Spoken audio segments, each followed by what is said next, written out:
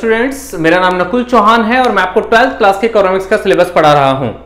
आज की क्लास में हम अपने ट्वेल्थ क्लास की इकोनॉमिक्स की सेकंड बुक को स्टार्ट करने वाले हैं, जिसका नाम है Indian economic development Indian economic development के बारे में मैंने आपको इकोनॉमिक्स की इंट्रोडक्टरी क्लास के अंदर बताया था कि हमें इकोनॉमी की एक प्रीवियस या पुरानी हिस्ट्री को लेकर थोड़ा पढ़ना होगा और उसके प्रीवियस कंडीशन से लेकर आज तक की कंडीशन को हमें कंपेयर करना होगा। ठीक है? तो आज की क्लास के अंदर हम स्टार्ट करते हैं इंडियन इकोनॉमिक डेवलपमेंट का सबसे पहला चैप्टर इंडियन इकोनॉमिक डेवलपमेंट में जो हमारा सबसे पहला चैप्टर है आता है Indian economy on the eve of independence जो भारत स्वतंत्र हुआ था तो उस कंडीशन उस टाइम पर भारत की जो कंडीशन थी, वो कैसी थी?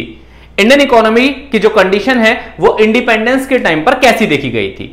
अब हमें पता है इंडियन इकोनॉमी की कंडीशन को हम बहुत डिफरेंट एस्पेक्ट से मेजर कर सकते हैं तो इसलिए हमें सिर्फ़ इकोनॉमी से रिलेटेड टर्म्स को देखना है। हमें सिर्फ़ इकोनॉमिक कंडीशन से रिलेटेड टर्म्स को देखना है।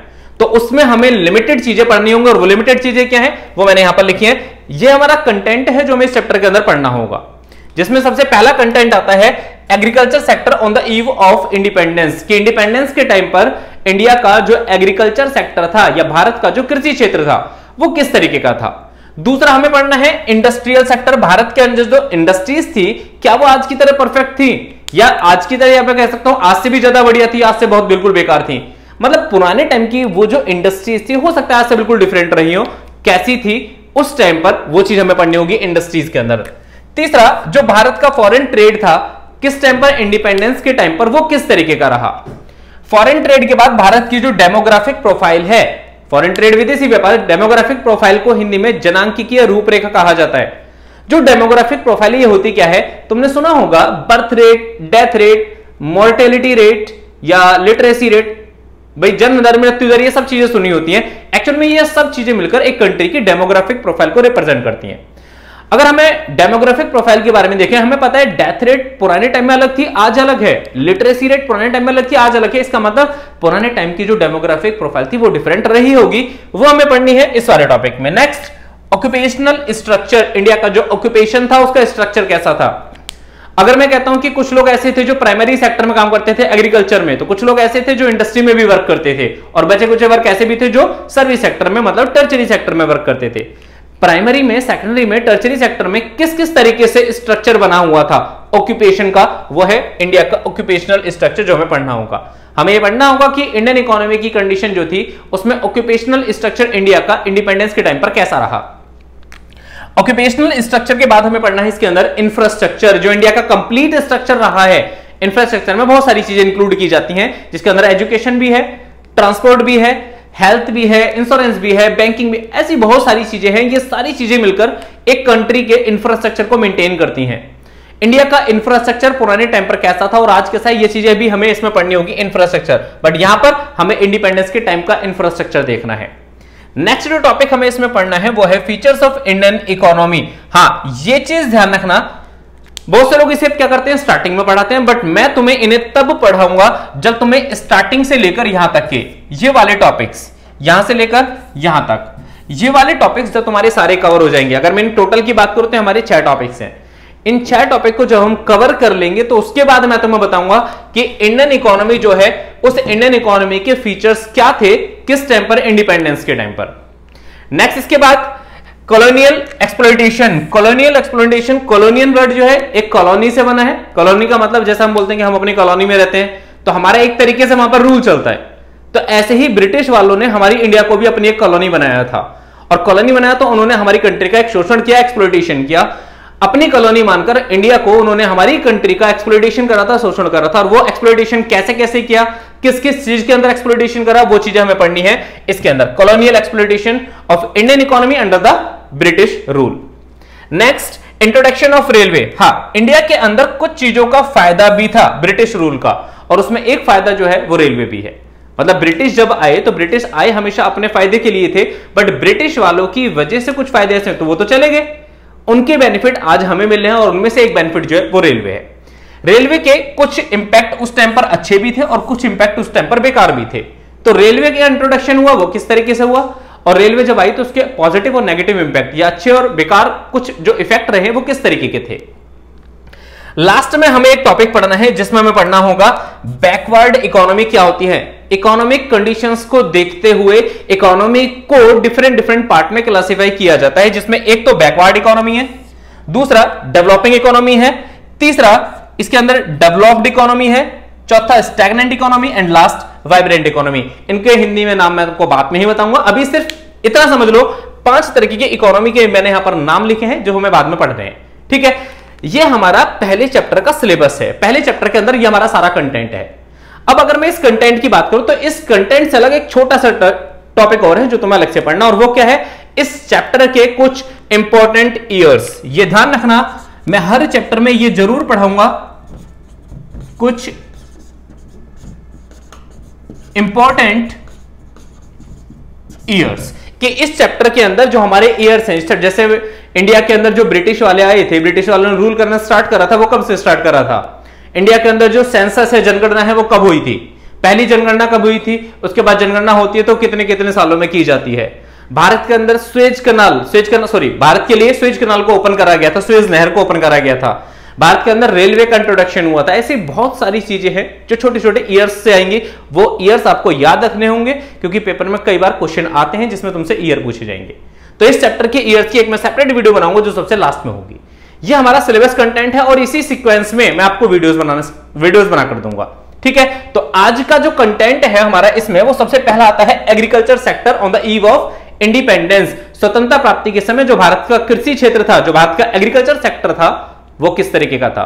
देखो एग्रीकल्चर सेक्टर मैंने यहाँ पर सिर्फ़ एग्रीकल्चर सेक्टर लिखा है क्योंकि हम सिर्फ़ इंडिपेंडेंस के टाइम की चीज़ें पढ़ रहे हैं। इंडिपेंडेंस के टाइम पर जो इंडिया का एग्रीकल्चर सेक्टर था, इस एग्रीकल्चर सेक्टर के अंदर बहुत सारी कमियाँ भी पाई जाती थी और बहुत उसके कुछ फ़ायदे भी रहते थे।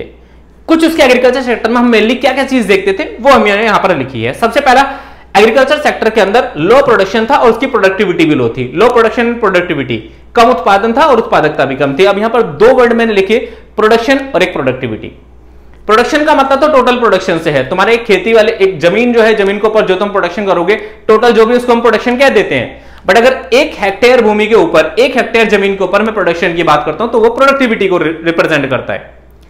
इंडिया के अंदर, जब इंडिपेंडेंस के टाइम पर देखा जाए तो इंडिपेंडेंस के टाइम पर क्या होता था? लोगों के पास इनकम के सोर्स नहीं थे। इनकम के सोर्स नहीं थे तो पुराने टाइम पर भाई पानी वानी की इतनी फैसिलिटी होती नहीं थी। किसानों को बारिश के ऊपर डिपेंड रहना पड़ता था तो ऐसी कंडीशन में किसानों को क्या करना पड़ता था, जब खेती में ज़्यादा वो लागत लगा ही नहीं सकते तो अब ऐसी बात है प्रोडक्शन का लेवल ज़्यादा होगा ही नहीं। जब तुमने ज़मीन के अंदर कोई अलग तरीके की खाद को यूज़ नहीं करा अलग अलग अच्छे अच्छे तरीके के बीजों को यूज़ नहीं करा तो ऐसी कंडीशन में तुम्हारी जो ज़मीन की फर्टिलिटी है या ज़मीन का जो उपजाऊपन है, वो भी डाउन होता था। इसका मतलब वहाँ की जो प्रोडक्टिविटी है, वो भी डाउन होती थी। तो ये कहा जाता था पुराने टाइम में पुराने टाइम में जो ज़मीन की फर्टिलिटी थी, उसकी वजह से वहाँ की प्रोडक्टिविटी कम थी। किसानों के पास सोर्सेज कम होने की वजह से प्रोडक्शन का लेवल कम था। तो इंडियन इकोनॉमी के अंदर जो एग्रीकल्चर सेक्टर था एग्रीकल्चर सेक्टर में हमने क्या देखा? प्रोडक्शन का लेवल और प्रोडक्टिविटी का लेवल दोनों ही बहुत कम थे। ठीक है? सेकंड आता है तुम्हारा इसमें डिपेंडेंसी ऑफ़ रेनफॉल रेनफॉल का मतलब बारिश। बारिश की जो निर्भरता थी, वो एक्चुअल में क्या था? आज के टाइम में क्या होता है? ट्यूबवेल्स लगी होती है, नहरें बहुत सारी हैं, और गाँव के अंदर छोटी छोटी चीज़ें ऐसे बहुत सारे डेवलप हो चुकी हैं, जिसकी वजह से उन्हें खेतों को सिंचाई करने में, सिंचाई को इरिगेशन फैसिलिटी कहा जाता है। इरिगेशन करने में उन्हें कोई भी दिक्कत नहीं होती। बट पुराने टाइम में क्या होता था? ये सब चीज़ें नहीं हुआ करती थी। ट्यूबवेल से बहुत बाद में ही है। पुराने टाइम में ये सब चीज़ें नहीं होती थी। पुराने टाइम में उन्हें कंप्लीटली डिपेंड रहना पड़ता था किसके ऊपर? सिर्फ़ बारिश के ऊपर। अगर बारिश हो गई तो फ़सल अच्छी हो जाएगी, बारिश नहीं हुई तो फ़सल अच्छी नहीं होगी। इसका मतलब तुम कंप्लीटली डिपेंड हो चुके हो किसके ऊपर? रेनफॉल के ऊपर। ये एक अनसर्टेन चीज़ है। तो ये बोला जाता था, वहाँ हाई डिग्री ऑफ़ अनसर्टेनिटी है, जो अनिश्चितता है ना, उसकी बहुत अधिक मात्रा पाई जाती थी। ठीक है? Third subsistence farming subsistence farming का मतलब क्या होता है? एक ऐसी खेती जो सिर्फ़ तुम अपने लाइफ को रन करने के लिए यूज़ करते हो। भाई आपको पता है, आज के टाइम में क्या होता है? जैसे कोई किसान है, वो खेती कर रहा है। वो खेती करता है किस लिए? क्योंकि वो खेती करके उसे अपने लिए भी यूज़ करता है बट उसमें से एक पोर्शन अलग निकालकर मार्केट में बेचने के लिए भेज देता है। क्यों? क्योंकि वो चाहता है, मैं इस अपनी खेती से जो खेती कर रहा है, इस खेती से वो पैसे भी कमा सकता है, उसका कमर्शलाइजेशन कर रहा है। एक्चुअल में क्या है, आज के टाइम में ऐसा है बट पुराने टाइम में ऐसा नहीं था। पुराने टाइम में किसानों के पास एक तो लिमिटेड फ़सल थी तो वो उस फ़सल को क्या करते थे मार्केट में सेल करने के बारे में सोचते ही नहीं थे। वो क्या करते थे, वो जो खेती कर रहे थे, उस खेती से जितना प्रोडक्ट आता था, वो प्रोडक्ट कुछ तो ब्रिटिश वाले रख लेते थे। कुछ जमींदार लोग हुआ करते थे, वो ले लेते थे, जो बसता था थोड़ा बहुत, वो अपनी लाइफ को रन करने के लिए उसे यूज़ करते थे। इसका मतलब फ़ार्मिंग जो वो कर रहे थे, वो सिर्फ़ अपने जीवन को चलाने के लिए, अपनी लाइफ को रन करने के लिए कर रहे थे। और कोई भी ऐसी फ़ार्मिंग जो सिर्फ़ लाइफ को रन करने के लिए की जाती है, वो कहलाती है सबसिस्टेंस फ़ार्मिंग जिसको हिंदी में जीवन निर्वाह खेती कहा जाता है। ठीक है? चौथा था small and fragmented land holdings holdings का मतलब यहाँ पर खेतों से है। स्मॉल का मतलब छोटे छोटे खेत और फ्रेगमेंटेड का मतलब है बटे हुए। देखो, अगर मैं कहता हूँ, मान लो मैं एक फार्मर हूँ और मेरे पास दस छोटे छोटे खेत हैं बट वो छोटे छोटे खेत जो ना, बहुत अलग अलग पार्ट में बिखरे हुए हैं। एक खेत यहाँ पर है, दूसरा काफ़ी दूर है, तीसरा और दूर है। जब ये दस खेत दूर दूर होंगे ना तो मुझे एक्चुअल में खेती करने में भी दिक्कत होगी। बट अगर वो दस के दस पार्ट एक जगह मुझे मिले हुए हैं तो फिर मेरे लिए इतनी प्रॉब्लम क्रिएट नहीं होगी। पुराने टाइम में क्या होता था, जो लैंड होल्डिंग्स होती थी, जो खेत होते थे, वो फ्रेगमेंटेड एक तो बटे हुए होते थे, ऊपर से छोटे छोटे पार्ट होते थे तो इसलिए किसान लोग ज़्यादा खेती नहीं कर पाते थे। रीजन क्या है? क्योंकि उनकी वैसे ही कॉस्ट बहुत ज़्यादा बढ़ जाएगी जब इधर उधर बार बार वो ट्रेवल करेंगे। मैं सिंपल एक बात बोलूँ, जब तुम्हारे खेत छोटे और बहुत ज़्यादा बटे हुए पार्ट के अंदर होते हैं तो ऐसी कंडीशन में खेती करना इंपॉसिबल होता है। तो पुराने टाइम में ये चीज़ देखी जाती थी। बाद में इसको धीरे धीरे रिमूव करा गया। जैसे वो दस पार्ट में बता रहा था, उनको बाद में जोड़कर एक जगह तुम्हें खेत देना स्टार्ट कर दिया गया था। नेक्स्ट आता है तुम्हारे इसमें लैंड रेवेन्यू सिस्टम ये एक बहुत इंपॉर्टेंट टॉपिक है इस चैप्टर का. इस चैप्टर में जो मैं पहला टॉपिक पढ़ा रहा हूँ एग्रीकल्चर सेक्टर एग्रीकल्चर सेक्टर में कई बार सिर्फ़ लैंड रेवेन्यू सिस्टम के ऊपर अलग से एक टॉपिक पूछा जाता है। अलग से एक तीन नंबर या चार नंबर में क्वेश्चन पूछ लिया जाएगा। लैंड रेवेन्यू सिस्टम है क्या? देखो, पुराने टाइम में ब्रिटिश लोग थे। ठीक है? ब्रिटिश लोग के बीच में यहाँ पर थे जमींदार। और जमींदार के नीचे थे फार्मर्स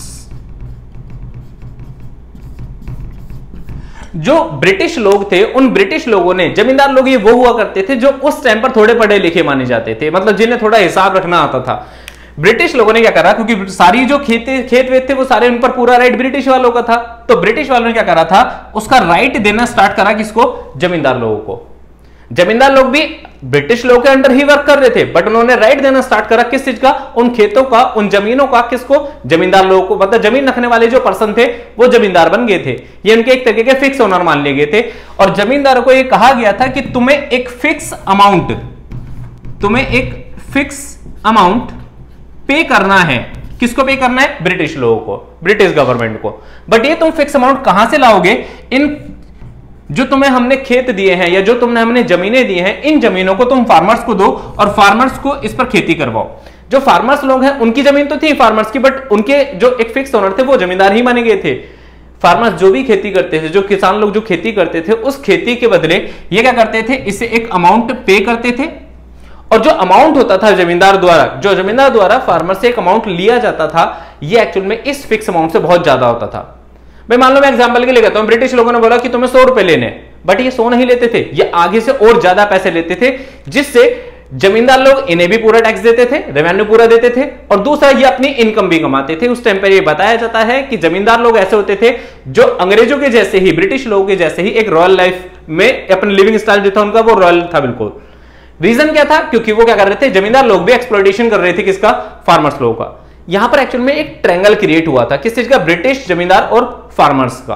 और जब ये ट्रैंगल क्रिएट हुआ था तो इसको लैंड रेवेन्यू सिस्टम कहा गया था। लैंड से रिलेटेड रेवेन्यू का एक सिस्टम था। ब्रिटिश लोगों ने जमींदारों को ज़मीन का एक फिक्स ऑनर डिसाइड कर दिया। जमींदारों ने उस पर खेती किससे करवाई? फार्मर्स से। फार्मर्स अपनी खेती के बदले उन्हें एक रेवेन्यू देते थे और उस रेवेन्यू का एक पार्ट किसके पास जाता था? ब्रिटिश के पास जाता था। तो ये लैंड के ऊपर मिलने वाले एक रेवेन्यू का सिस्टम बना। भूमि के ऊपर मिलने वाला राजस्व का एक प्रणाली बन गई थी। तो इसलिए इसे भू राजस्व प्रणाली या लैंड रेवेन्यू सिस्टम कहा गया था। और इसी सिस्टम को एक और नाम भी दिया गया। इसको नाम दिया गया जमींदारी सिस्टम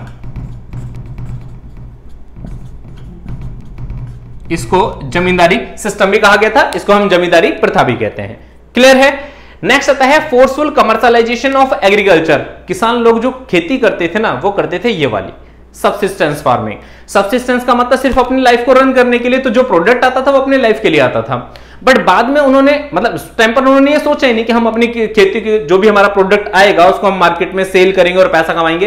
बट बाद में ब्रिटिश लोगों ने उन्हें क्या करा? फोर्स करा कि एक काम करो मार्केट से तुम पैसे भी कमा सकते हो अपॉर्चुनिटी है। बेचना स्टार्ट करो अपने प्रोडक्ट को। किसान लोगों को पता था, उनके पास प्रोडक्ट वैसे ही ज़्यादा नहीं है तो वो बेचना नहीं चाहते थे। फिर ज़बरदस्ती जो है मतलब एक फोर्सफुल तरीके से ब्रिटिश लोगों ने किसानों को उनके प्रोडक्ट को मार्केट में सेल करने के लिए स्टार्ट करवाया था। मतलब उनको मार्केट में फोर्स फोर्स करा कि तुम अपने प्रोडक्ट को ज़बरदस्ती मार्केट में सेल करो। इसका मतलब यहाँ पर एक फोर्सफुल कमर्शलाइजेशन रहा। किस चीज़ का? एग्रीकल्चरल प्रोडक्ट का। तो एक कृषि का एक बाध्यकारी बाध्यकारी का मतलब जिस पर बैन है, जिस पर एक बाउंडेशन लगी हुई है। बाध्यकारी एक व्यापारीकरण था। लास्ट गल्फ बिटवीन गल्फ का मतलब होता है खाई से। Gulf between owners of the soil किसके बीच में? ऑनर्स का मतलब है जो ज़मीन के मालिक हैं and tillers of the soil ये वर्ड ध्यान रखना। टिलर्स का मतलब होता है वो पर्सन जो उस भूमि पर खेती करते हैं। खेती करने वाले पर्सन किसान है। ऑनर्स का मतलब यहाँ पर एक तरीके के जमींदार लोग हो या जो भी उसके ज़मीन के मालिक रहेंगे।